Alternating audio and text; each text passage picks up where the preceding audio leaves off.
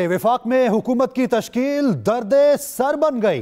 नू लीग और peoples party का हुकूमत साजी के लिए मुजाकरात का पांचवा दौर। दोनों जमातों की रबता कमेटियों के मुजाकरात सैनिटर इसाक डार की रिहाइश गाह पर हुए।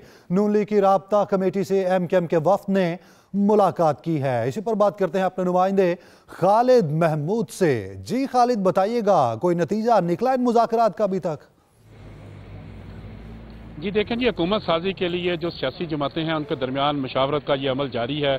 और आज सबसे जो अहम मुलाकात हुई, वो पाकिस्तान मुस्लिम लीग नून और पाकिस्तान पीपल्स पार्टी के दरमियान तकरीबन तीन घंटे तक ये मशावरत का अमल जारी रहा, जिसमें एक वक्फा किया गया और फैसला किया गया कि दस बजे दोनों जमातें जो हैं, वो दोबारा मुलाकात करेंगी। और इस दौरान जो है, वो अब तक जो पेशरफ हुई है, उसमें जो तमाम चीज़ों का, जिन पार्टियों ने, दोनों पार्टियों ने इतफाक किया है, उस बारे में पार्टी क्यादत को आगाह किया जाएगा। पाकिस्तान पीपल्स पार्टी का वफद इस वक्त जरदारी हाउस में मौजूद है, जहाँ पे वो जो पार्टी के चेयरमैन है, उनके साथ उनकी मुलाकात है और उसके बाद दोबारा से वो यहाँ पे सागडार की रिहायशगाह पे आएँगे, जहाँ पे मुजाकर शुरू होंगे। इस वक्फे के दौरान जो है, वो एम क्यू एम का वफद जो है, वो कामरान टसूरी की क्यादत में मुस्लिम लीग नून के वफद के साथ मुलाकात कर रहा है और इसमें पावर शेयरिंग के हवाले से बात की जा रही है। लेकिन जो सबसे बड़ा इशू है, वो हुकूमत साजी का है और इसमें खासकर जो कैबिनेट में पाकिस्तान पीपल्स पार्टी की शमूलियत है, उस बारे ज़ोर दिया जा रहा है। पाकिस्तान मुस्लिम लीग नून ने आज भी यह मुतालबा किया है कि पाकिस्तान पीपल्स पार्टी कैबिनेट में शामिल हो और इसी तरह वो पंजाब में भी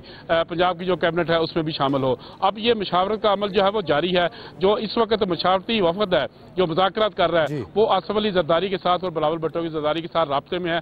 जिसके बाद ये फैसला किया जाएगा कि पाकिस्तान पीपल्स पार्टी काबीना में शामिल होती है या नहीं। लेकिन अभी तक जो पाकिस्तान पीपल्स पार्टी है वो अपने आइनी अहदों पर डटी हुई है कि वो जो तमाम आइनी अहदे हैं वो पाकिस्तान पीपल्स पार्टी हासिल करेगी। जी। आइनी अहदे पीपल्स पार्टी हासिल करेगी। बहुत शुक्रिया खालिद महमूद आपका।